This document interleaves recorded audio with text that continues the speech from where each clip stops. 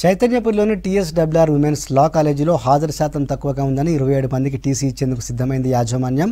మూడు రోజులుగా తమ సమస్యలను చెప్పేందుకు సెక్రటేరియట్ చుట్టూ తిరుగుతున్నారు విద్యార్థులు తల్లిదండ్రులు. గురుకులాల సెక్రటరీ రొనాల్డ్ రోస్ను కలిసేందుకు వెళ్తుంటే పట్టించుకోవట్లేదంటున్నారు విద్యార్థులు. తమ పిల్లల భవిష్యత్తు ఏంటని స్టూడెంట్స్ పేరెంట్స్ ఆందోళన చెందుతున్నారు. ఇందుకు సంబంధించి మరింత సమాచారం యాదగిరి అందిస్తారు. సంబంధించిన సరూర్ నగర్ లా కాలేజ్లో అక్కడ ఉన్నటువంటి ఫ్యాకల్టీ అక్కడ ఉన్నటువంటి చదువుకునే స్టూడెంట్స్కి చాలా ఇబ్బంది పెడుతున్నారని చెప్పేసి ఆ ప్రిన్సిపాల్ పైన సచివాలయంలో ఉండే సెక్రటరీకి సెక్రటరీ రొనాల్డ్ రాస్కు కంప్లైంట్ చేయడానికి వచ్చారు. ఏంటి ఈ దీనికి సంబంధించిన ఇష్యూ ఏంటి అసలు అక్కడ పాప ఉంది.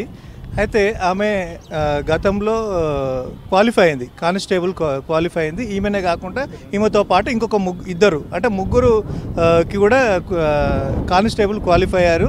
దానికోసం వాళ్ళు దానికోసం ప్రిపరేషన్ అవుతామని చెప్పేసి వాళ్ళు లెటర్ పెట్టుకోవడం జరిగింది. ఆమె ఇంతకుముందు గతంలో ఉన్న ప్రిన్సిపల్ గారు పర్మిషన్ కూడా ఇచ్చిళ్ళు పర్మిషన్ ఇచ్చినప్పుడు పర్మిషన్ ఇచ్చినాక ఇప్పుడు మేము వెళ్తే ఆమె అంతా అయిన తర్వాత వస్తే ఇప్పుడు మీరు మీరు రావద్దు అని చెప్పి చెప్తున్నారు. ఎందుకంటే మీకు అటెండెన్స్ లేదు మీకు టీసీ ఇచ్చి పంపిస్తా అని చెప్పేసి చెప్పడం జరిగింది.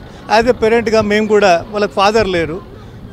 ఒక రెండు వందల కిలోమీటర్లు రెండు వందల మూడు వందల కిలోమీటర్లు జయశంకర్ జిల్లా నుంచి వెళ్ళి తను భూపాలపల్లి జయశంకర్ జిల్లా నుంచి వెళ్ళి తను రావడం జరిగింది. సరే పేరెంట్గా నేను గార్డెన్గా నేను వెళ్ళడం జరిగింది. మేడం తను పర్మిషన్ తీసుకొని ఉన్నారు కదా మరి లోపల తీసుకోండి అంటే లేదు లేదు మీరు అక్కడ సెక్రటరీకి వెళ్ళండి అక్కడ నుంచి వెళ్ళి పర్మిషన్ తీసుకొని రావాలంటారు.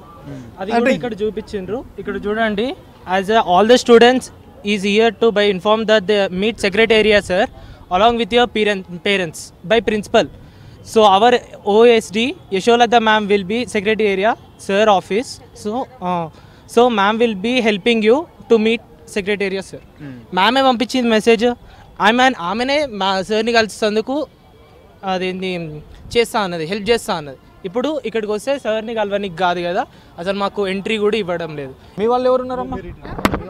మా పాప సార్ త్రీ ఇయర్స్ అయింది సార్ జాయిన్ చేసి మేము. ఇప్పుడు ఫిఫ్త్ సెమిస్టర్ అవుతుండే అయితే ముందు ఫిఫ్త్ సెమిస్టర్ కంటే ముందు ఏం జరిగిందంటే మా చేతిలో ఏం లేదు హాల్ టికెట్స్ ఇక్కడ ఇష్యూ చేయము హెడ్ ఆఫీస్కి వెళ్ళి తెచ్చుకోమన్నారు. తెచ్చుకోమంటే మేము మేము చేసిన తప్పాలు ఏంటంటే హెడ్ ఆఫీస్కి మేము ఎందుకు వెళ్తాము? మీ దగ్గరనే ఉంటాయి కదా మేడం ఇవ్వాలి అని అడగాల్సింది. అయితే సరేలే ఇంకా క్రిమినల్ ఎగ్జామ్ ఉంది నెక్స్ట్ డే ఈమె ఈ ఏడిపించడానికి హెడ్ ఆఫీస్కే మనం పిల్లలు బ్రిలియంట్ స్టూడెంట్సే కదా అని హెడ్ ఆఫీస్కి వెళ్ళినాము. అక్కడ ఓఎస్డి సార్ అంట సార్ ఆయన భానుప్రకాష్ ఆయన మాటలకైతే అంతు లేదు సార్ అసలు అసలు ఇప్పుడు ఏం జరిగింది? ఇక్కడ వరకు మీకు రావాలి ఇక్కడ వరకు రావాల్సిన అవసరం ఏమొచ్చింది చెప్పండి? అయితే ఫిఫ్త్ సెమిస్టర్ అయిపోయింది సార్. ఎట్లాగో అది తెచ్చుకున్నాము ఆల్ టికెట్స్ తెచ్చుకున్నాము అయిపోయింది.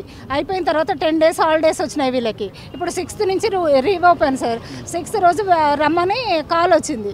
మా సార్ ఏం చేశారంటే పాపని తీసుకొని వెళ్ళారు వెళ్ళిన తర్వాత టీసీ ఇష్యూ చేసినాం తీసుకొని వెళ్ళిపో. ఎందుకు రీజన్ ఏం రీజన్ రీజన్ ఏంది మేడం? టీసీ ఎందుకు తీసుకెళ్తుంది? మా పిల్లకి చదువు రావట్లేదా? దేనివల్ల మీరు దేనివల్ల అది టీసీ ఇస్తున్నారని మా సార్ అడిగిరంట. అంటే లేదు సార్ చెప్పడానికి మా చేతిలో ఏం లేదు హెడ్ ఆఫీస్ వాళ్ళు ఇష్యూ చేసారు మేము ఇస్తున్నాము అని ఒక పేపర్ ఇచ్చిందంట. దాని మీద మేబీ రెస్టికేటెడ్ అని రాసిందంట. అయితే ఏమన్నారంటే రెస్టికేటెడ్ అంటే మీనింగ్ ఏంటంటే చదువుకో నువ్వు చూసుకో నీకు తెలియదా నువ్వు బ్రిలియంట్ స్టూడెంట్వే కదా. ఇట్లా మాట్లాడిందంట. సరేలే అని వచ్చేసిరు వీళ్ళు. మాకైతే చాలా అంటే చాలా టార్చర్ ఉంది సార్ కాలేజ్లో. చాలా ఇబ్బంది పడుతున్నాం మేము.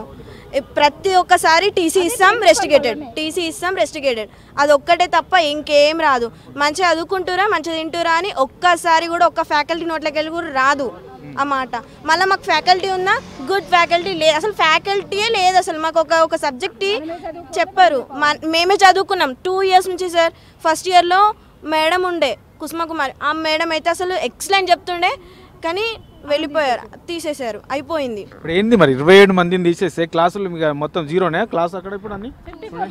అసలు ఇప్- ఇప్పుడు సార్ ఇప్పుడు వెళ్ళి ఒక్కసారి మా కాలేజ్కి వెళ్ళి చూడండి ఒక్క ఫ్యాకల్టీ కనిపిస్తే నా చెవు కోసిస్తారు నేనైతే. ఎట్లా ఇప్పుడు లోపలికి రానివ్వట్లేదా మీకు? లోపలికి అసలు ఏమంటారు పోతే? సార్ బయట మేము జైలు లాగా నిల్చున్నాం సార్. జైలు లోపల జైలు లోపల ఖైదీ ఉంటే జైలు బయట పేరెంట్స్ ఉంటే అట్లున్నాం. బయట బెంచ్ పడేసి బయట కూర్చుని పెట్టిరు సార్ మాకు. పొద్దు నుంచి తిండిలే తికాన్ లేదు. తీసుకున్నాం మేము బెంచ్ అప్పుడు ఇచ్చిరు మాకు బెంచ్. కూర్చోవడానికి. మేము ఏం చేయాలి అప్పుడు? ఎండలు? అంత ఎండలో మేము ఎట్లా ఉండాలి? మా మా పేరెంట్స్ ఉండొద్దా మాకి?